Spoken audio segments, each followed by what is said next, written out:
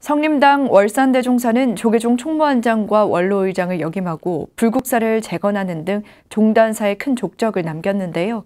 금호 선사의 법맥을 이어 선풍을 진작시키고 강원과 선방을 열어 수행 풍도를 일신시켜 수행자의 사표로 남은 월산대종사의 사상과 업적을 재조명하는 학술 세미나가 열렸습니다. 엄창현 기자입니다. 불교 문화의 중심이자 지붕 없는 박물관 경주에 위치한 불국사 불교문화회관. 조계종단을 재정립하고 불교 정화운동에 큰 족적을 남겼던 성림당 월산 대종사의 삶과 사상을 재조명하기 위해 스님과 제가불자들이 한자리에 모였습니다. 불국사 월산문도회와 대각사상연구원이 어제 월산 대선사 사상의 재조명을 주제로 학술 세미나를 개최했습니다. 조계종 총무원장과 원로 의장을 역임하고 불국사를 중후시킨 월산 대종사는 강원과 선원을 열어 수행 풍토를 일신하며 후학들을 선의 세계로 이끈 선지식이기도 했습니다. 1997년 9월 세수 86세 범납 55세에 원적할 당시 주장자와 몇 벌의 승복만 남겼을 정도로 청빈하고 검소한 수행자의 사표로 남았습니다.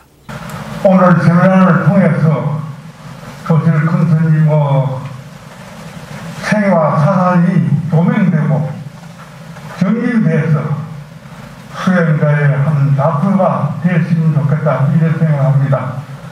불국 선언의 건립 배경에서부터 지금까지 과정 또 광원의 설립에서 지금까지 과정을 세미나는 불국사 주지 종호 스님의 기재 발제를 시작으로 월산 대종사의 생애와 중도 선사상, 불교 선언 건립의 사상적 의미와 특징, 불국사의 강학 전통, 월산 대종사와 언론을 주제로 각각 발표가 이어졌습니다.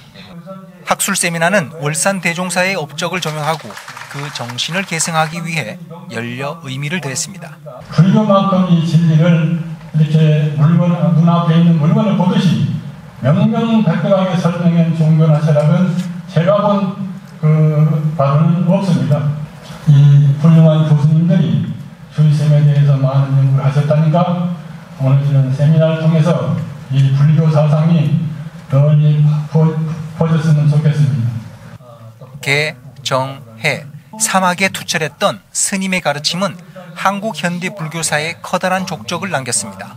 이날 월산 대선사 학술 세미나는 한국 불교 대표 방송 BTN 불교 TV 유튜브 채널을 통해 실시간으로 생중계됐습니다. BTN 뉴스 엄창현입니다.